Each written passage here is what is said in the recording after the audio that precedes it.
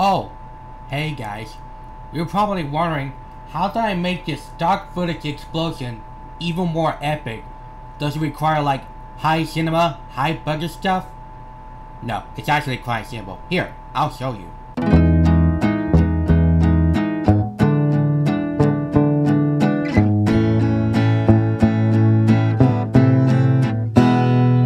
So uh, first step you gotta do is copy and then paste. And then you move over there.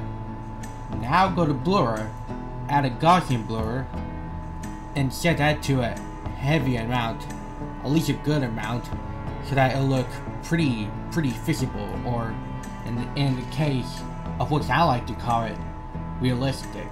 Now hover over that blend mode you'll see over the opacity tab, and set both of them to screen, like so. If you got all that correctly, you should get this. If you want to make it faster, nest the sequence, go to speed duration and double the speed.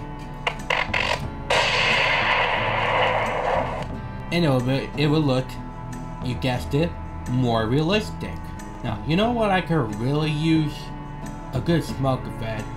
Too bad I just had to download it from a YouTube. But I'm too lazy to do this, so I'm gonna rig it. So first, copy and paste this, remove the saturation, set a heavy blur, and zoom in. Now, if you got all that, you should get this. Alright, one more, I promise this will be over, because I'm gonna show you how to add the impact effect. Firstly, you gotta deal with this wave warp thing first, because that's the hardest one. You will understand better if you watch my previous video where I show you how to add a shake effect easily. Anyway, here's the preset so I don't have to explain everything again. Pretty cool, right? Well, I'm gonna make this even better because now I'm gonna show you how to add the blurry and make it perfect. So yeah, you gotta increase the blurry to whatever, whatever this big, whatever you want it to be.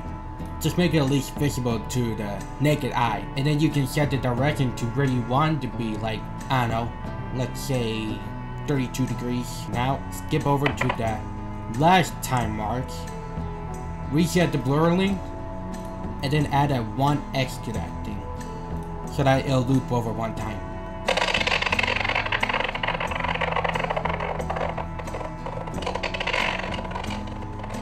Oh yeah, baby, that's some good explosion. And if you master the following instructions, you should be able to replicate this video correctly.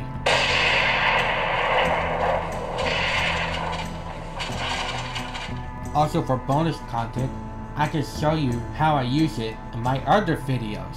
In 3, 2, 1. Oh,